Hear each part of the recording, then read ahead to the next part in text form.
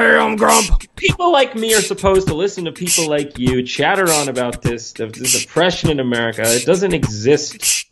Wealthy blacks also commit more crime than poor whites. That's a fact. Yeah, look it up.